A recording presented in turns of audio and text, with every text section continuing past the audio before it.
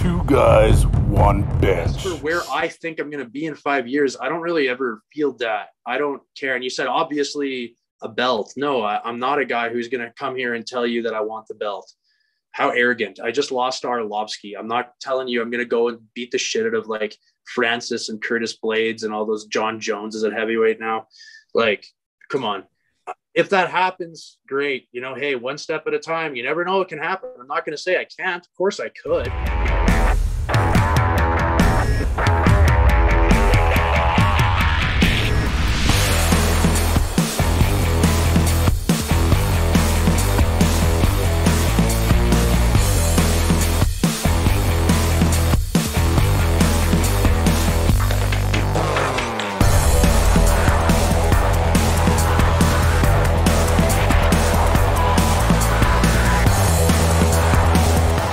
Up, everybody? Welcome to Two Guys, One Bench. We just got off an interview with Tanner Boser, UFC heavyweight, and he's getting ready for a fight against a career uh, veteran, Latifi. Uh, so it's going to be an awesome fight. Uh, Darrell?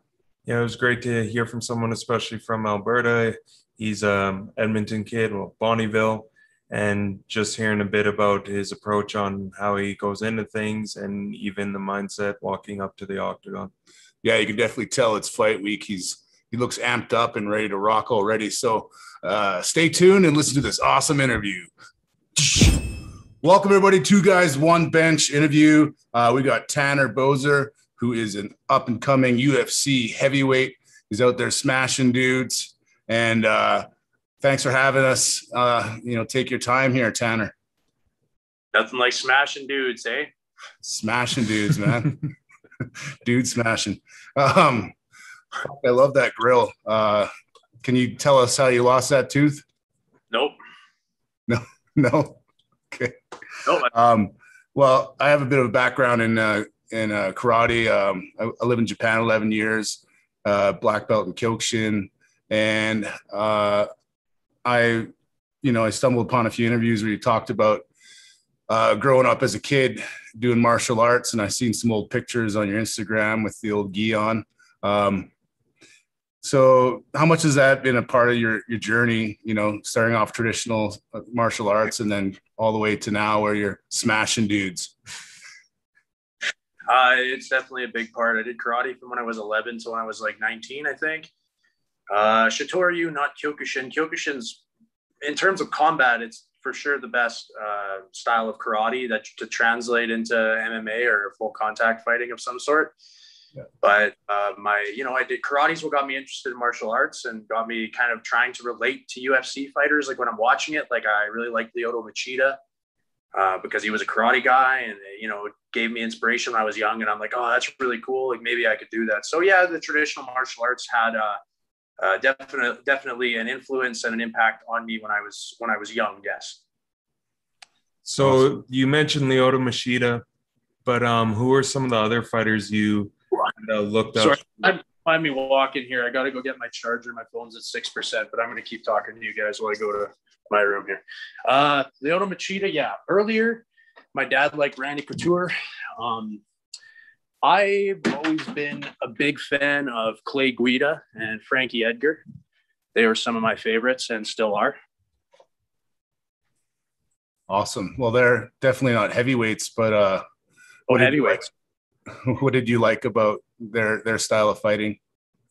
Oh, I liked the grit. I liked um, how they were always in crazy fights, and even though they would get like absolutely rocked or, or knocked uh, down multiple times, they'd never give up, and they were just tough as nails. That's what I liked about them and still like about them. Um, in terms of heavyweights, if you asked and I wasn't listening, my favorite heavyweight of all time was Junior Dos Santos. Nice. Yeah. Yeah, I could definitely see some uh, some similarities in your, you know, you're he's probably what 240 ish and and about six three, but he he moves around so light. And um, one of my favorite things about you is just how how you move around and you know you're you're one of the quickest heavyweights out there for sure.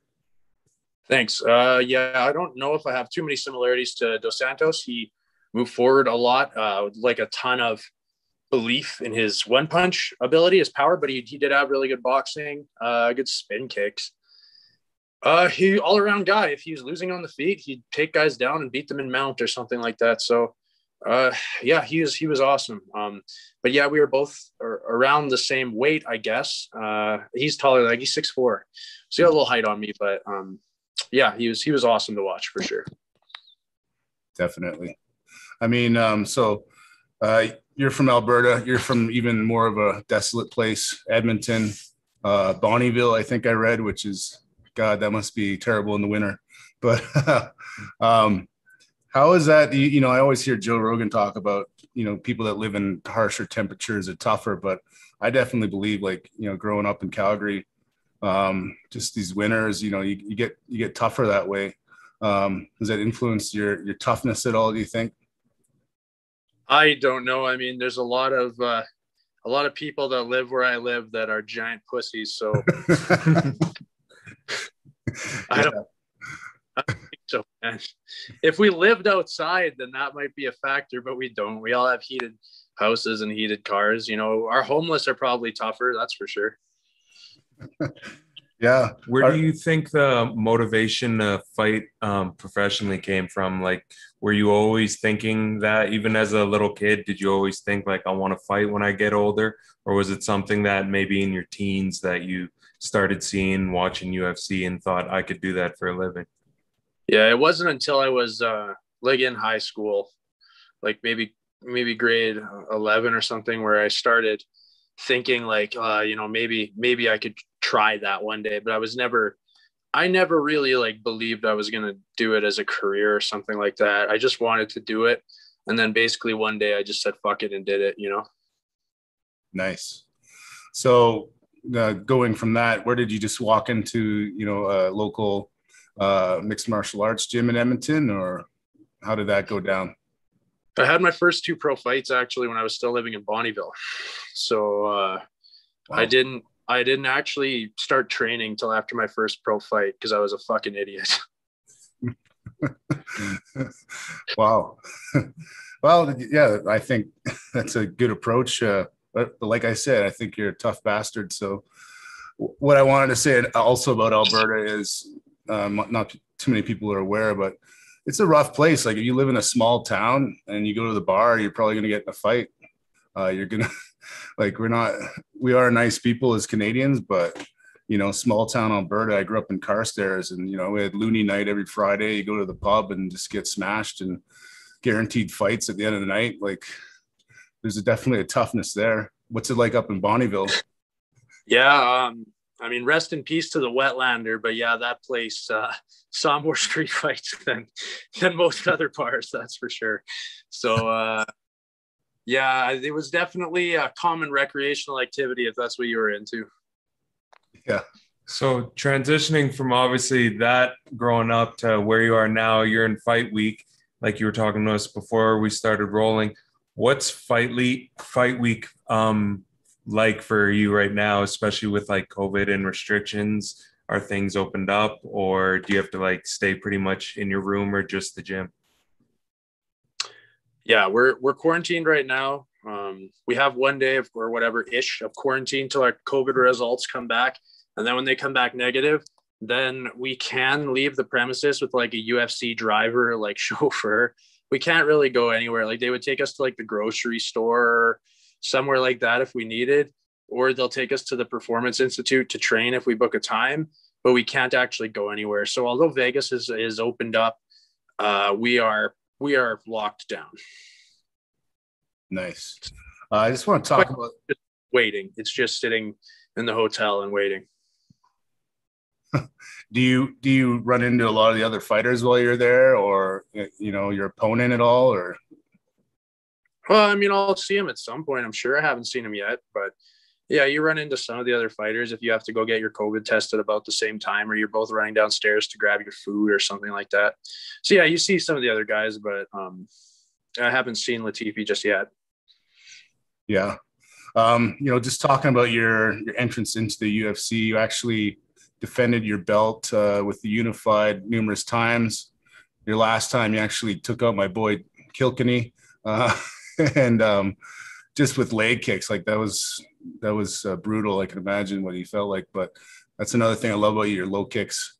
Um, yeah. Um, so getting right into the UFC, they didn't really give you much time to adjust. You were dropped in there with some big names, and um, I mean, you've been fighting some top guys. Like your last fight, Andre Arlovsky, obviously one of the greatest heavyweights to to do it. Um, what's it been like just getting dropped into the the wolves, so to speak? It's been fun, man. I, I fight whoever they tell me I'm fighting. So yeah, Andre Arlovsky and Cyril Gane are definitely two of the tougher guys I've fought. But uh, things went perfectly for me against Felipe Lins, but I mean he's no slouch either. He won the PFL tournament, so yeah, I ain't getting any lob balls, that's for sure. But oh well, I'm I'm just I'm here to fight whoever. I don't really care. Yeah, speaking of that victory over Lins, that was probably one of the best uh, combination knockouts I've ever seen. Um, and just how you transitioned from knocking him down, and then you already had that hand cocked to finish him. That was pretty, pretty amazing. I mean, um, to be a com, you know, a combination finisher like that, um, what kind of you know practice does that take? You know, a lot of these heavyweights is just a one punch kind of deal, but you're you're hitting guys with three, four, five hit combos, right?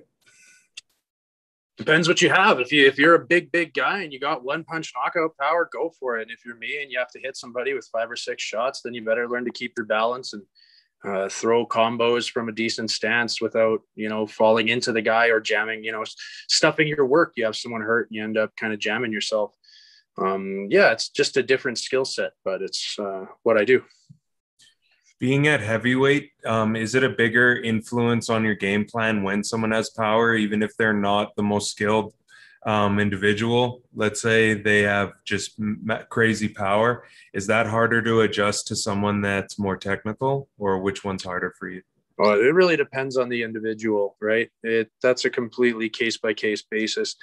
Some guys got insane power, and you can't really mm, quantify it. Hard to train for. How you know a guy like for instance, maybe like Francis and Ngannou, there's just not too many people on earth that have that kind of power. It's just a, just a, just a thing you're gonna have to try and uh, get around.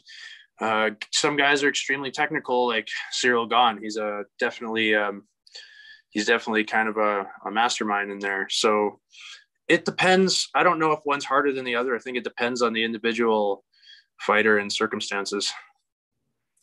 Yeah, definitely. Um, but you did, you know, have two performance bonuses, which is pretty awesome. What's it like getting one of those? I only got one performance bonus. Oh, really? Well, Wikipedia's lying to me. yeah, the performance bonus when I fought Pessoa. Whoa, uh, you guys there? Yeah. yeah. Uh, I got a performance bonus when I fought Pessoa, not when I fought Lins. Oh, really? You didn't get a bonus for that knockout? Wow. Or didn't. Some girl got an armbar and Ronda Rousey tweeted about it. So fuck me in the ass. I didn't get a fucking.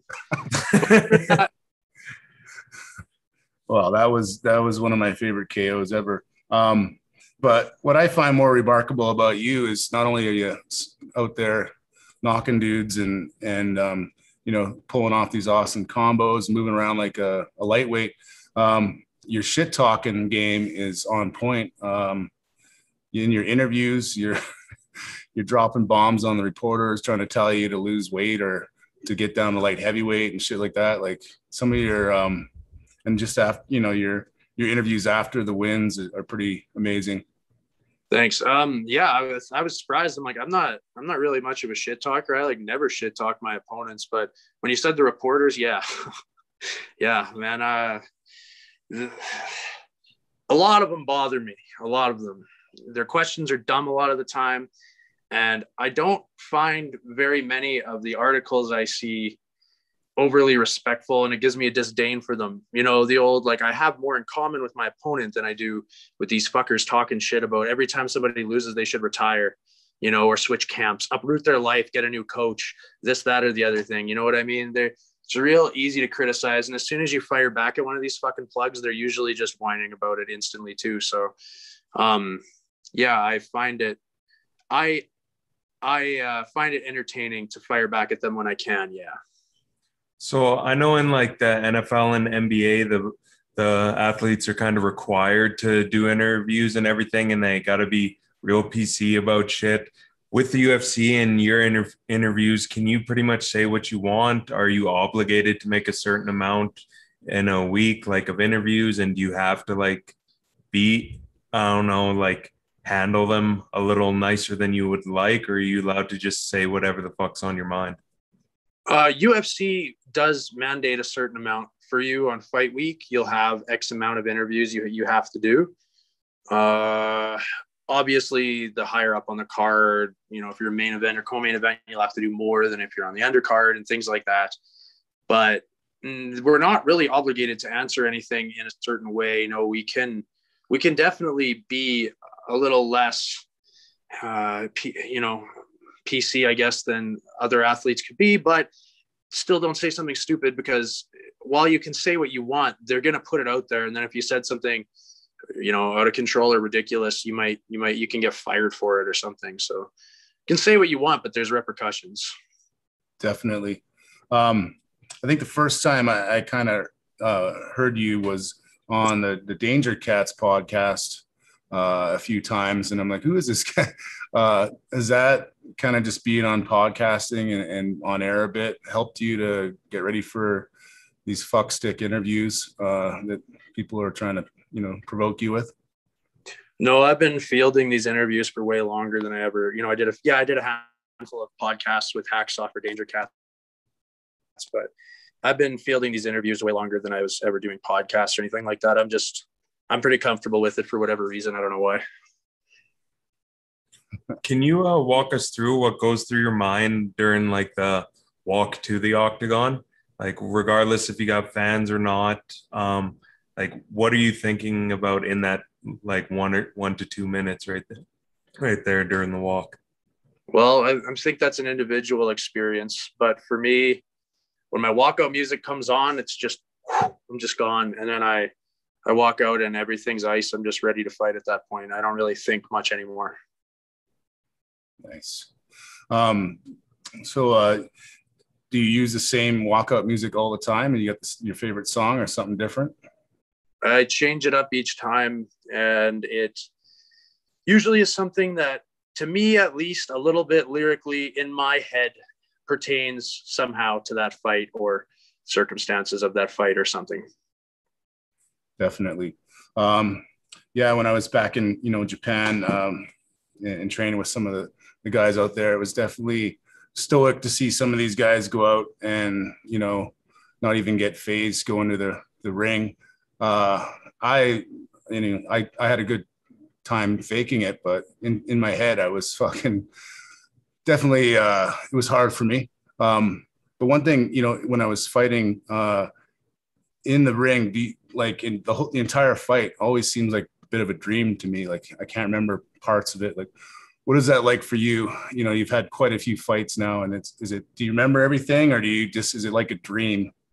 Yeah, that's a good way to describe it. Yeah, I don't think no, you don't remember everything, and if you do, the sequences are off. It's not necessarily in order the way you remember it, and I'm not even talking about if you got hit hard a bunch. Even fights where you get hit, you kind of remember it out of sequence.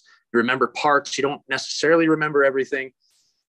I think it's because your brain is in such a high stress uh, life or death check technically situation that it diverts energy from like storing memory to uh, just uh, sharpening your reflexes and being so present that it says it's do or die that it doesn't prioritize uh, memory or something like that yeah it's uh, it's hard to explain to anybody else but it's like you're in a dream state and then like I've like let's say that combo you finished Lins with that must have been like a crazy flow state. Like you're not even thinking at that point. It's just react. no. I do like a bunch, and I can describe what went through my head at that moment. I hit him with the overhand, and I saw and I saw him wobble a little bit, but I saw his eyes, and I could tell from his eyes that he was hurt.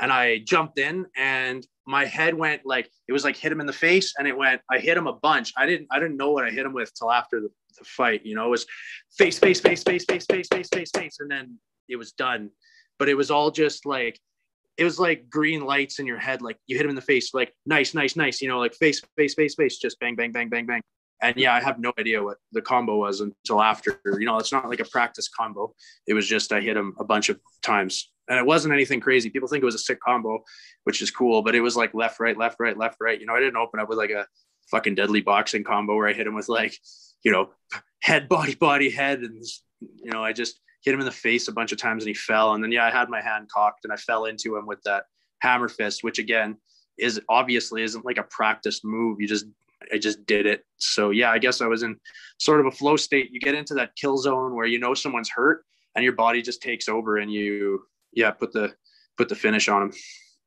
Are you ever surprised by your performance in the octagon? Like, what I mean by that is, say, you're fighting and you drop someone or wobble someone. Are you ever surprised, like, oh, wow, that, like, I wasn't expecting it to do as much damage as it did? Or when you're wow. throwing, you are you throwing with intent, like, yeah, if this lands, it's going to drop him? Like, just from someone with no fight experience, I just kind of want to know how that all mm. works. No, I mean, if you're throwing a hard punch, you always hope that it's going to hurt them, right? But you don't know what's going to hurt them because you don't know how everything's going to land or if it's going to land. So yeah, you have to be reactionary. But I don't know. I don't know if I'm ever. Sometimes I guess for a second you're surprised. You're, oh, that hurt him, and then you got to go in, but you're not like, wow, I hurt him. Like you know, you're training to hurt somebody. You're training to do damage. So if it does its job, then that's just perfect. Yeah. And um, I'm just a little interested in like your training methods because I know I coach MMA as well. Um, and you know, what kind of do you focus on like a lot of combos when you're hitting pads and stuff like that? Because no, there's no set combos. Because I find more that the more my kind of fighters can learn combos and memorize, just banging out like a five, six shot combo, then they're more likely to use it in, in a sparring session. Um, how does that work with you? Or if, if not like how do you how do you you know practice? How do you drill necessarily? I have some combos but they're not huge. They're maximum five punches i guess. But then you can do that. If you apply it depending on where they are you could then basically instantly apply another combo. So it might look like one big combo but really it's not. Or you know you hit somebody with a few punches but it was just like a one two and then all of a sudden you see another combo opportunity. And uh it's more the way i uh, my coach coaches me it's more sequences. And i wouldn't say so many set combos there's a few yeah but it's a lot of recognizing when's the right time to do what and then incorporating what you can do at, at that time i guess i don't know it's hard to explain yeah, just I understand it. It's interesting. I'm just as a coach, it's always interesting for me to hear what kind of training methods you're doing. Um, one other thing I noticed that you definitely um, you've you've shaped up a, a, bunch over the last year. Um, how has you know your strength conditioning changed, and how has that helped you? A lot more weights is how it's changed, and it, it has helped a lot. Uh, during the start of COVID, I couldn't train with groups or do anything for a long time, and I had to improvise. And I was able to, well, not able. Only thing I could really do was more strength and conditioning, just not in a group setting on my own, and just lift a lot more weights. And I noticed the changes, and it wasn't just the way I looked or strength wise. I was actually able to like punch and kick better. So for whatever reason, so I've kept up with that. Nice. So you're doing a lot of the compound movements like deadlifting and, and squatting and all that kind of yeah. stuff. Nice. Yeah. Yeah. So what does a normal day look like for you? A day of training? Like get up at 4:30, train two or three times. Can you take us through that? like 4:30. Get up at 10:30. okay train at like 1 p.m. or something like that, and then train again at 7:30 or something like that. I usually train twice a day. Sometimes it's three times, but usually it's twice. So usually one's a strength and conditioning, and the other is like an MMA or grappling or kickboxing, or so again sometimes three, or maybe there's not a strength and conditioning that day, and I happen to have, you know, a kickboxing, jujitsu, and MMA or something like that. Awesome. Yeah, definitely. That's funny. 4:30 in the morning. Yeah, that's uh, those are some crazy bastards. But generally, I, I would say you want to be ready to be able to fight in the evening at all times, right? That's why I always trained later, just so you, if you're gonna fight, it's usually in the evening, right? Unless you go somewhere else in the in the world, right? Well, unless you go somewhere else, then you have to fight. Like when I fought in Abu Dhabi, I'm fighting at even yeah. there. I'm fighting at like four in the fucking morning, so it's stupid time, you know. So just to make it uh, on prime time in TV in the states. Yeah. So it, I fought in a lot of places and I've had to adapt to the clock. So I don't really prioritize when I'm training, I guess. I just have times where I typically do train and I work my schedule around those. But when I'm somewhere like here in Vegas, I'm probably going to end up fighting our time. It's something like 3:30 ish. So that's obviously the time when I will try and train this week. But yeah. Can you take us through um, after a loss? How hard is it to shake that, or is it just on to the next one, or does that stick with you for a while? You can shake it and still be on to the next one, and it still sticks with you. It's not like you ever just are happy about it all of a sudden. I'm on to the next one, but I'm still bothered by my last loss. That's how it is. It, you know, you gotta you gotta be ready to go on to the next one because when you win a fight, you know, yeah, you forget a little bit. You don't forget, but it takes off some of the shitty feeling from your last loss. But it, eh, it depends on the loss too. Some are easier to be like, oh fuck, whatever. Like that sucks, but I lost. And other ones you kick yourself in the ass for a long time about. So it all depends on the nature of it. Definitely. Um, and speaking of that last loss versus uh, Arlovsky, well, that guy's been in the game forever. I mean, um, I couldn't imagine just being across the octagon from that monster. But um, speaking of which, like in, in, the next five years, where do you see yourself as a fighter? Because that guy's been going for almost 20 and still staying relevant. So, um, do you plan on doing this for quite a long time? Um, what are you know? What are some of your goals? Obviously, trying to get a belt. Um, yeah. Uh, yeah. So first of all, yes, Arlovsky is uh, a legend. No, I wasn't It's like, oh shit, that's Arlovsky. You know, I had a job to do and I, and I didn't do it well enough. It was too close. It's a matter of opinion who won that fight, and the judges' opinions were that he won the fight and I lost. So that sucks. That loss really fucking sucks. It's like one punch away on either side from the person winning or losing. If I would have won on that exact same performance, whether the judges just saw it slightly different and gave me the win, uh, I would be fine with it. I would have won. So that's it's a matter of opinion in that. Yes, Arlovsky has been fighting forever and uh, he's still relevant. Kudos to him. The guy's fucking brilliant. He's been, you know, he's he's making a, an absolute killing to fight idiots like me. So, congratulations to him. He, he did it. Uh, as for where I think I'm going to be in five years, I don't really ever feel that. I don't care. And you said obviously a belt. No, I, am not a guy who's going to come here and tell you that I want the belt. How arrogant! I just lost Arlovsky. I'm not telling you I'm going to go and beat the shit out of like Francis and Curtis Blaydes and all those Jon Joneses at heavyweight now. Like, come on. If that happens, great. You know, hey, one step at a time. You never know what can happen. I'm not going to say I can't. Of course I could you know, if the stars aligned and things just went great for me. But I got Ilir Latifi in front of me. And after that, it depends what happens in this fight. How can you see yourself anywhere in five years? You can you have to look at every fork in the road. If I beat him, well, I'm gonna get a guy that's probably a gatekeeper type to the top 15, maybe a Big Ben type. And then if I beat him, oh well, I'm gonna be fighting a top 15, maybe a top 10 guy. That's so many ifs. If I lose this fight, I'm going to be fighting another asshole who's on a losing uh, streak. And if I lose that one, I'm out. And then I got to figure something else out. So hard to say where you see yourself in five years. It's a very, very um, volatile career. Yeah, oh. that makes perfect sense. Yeah.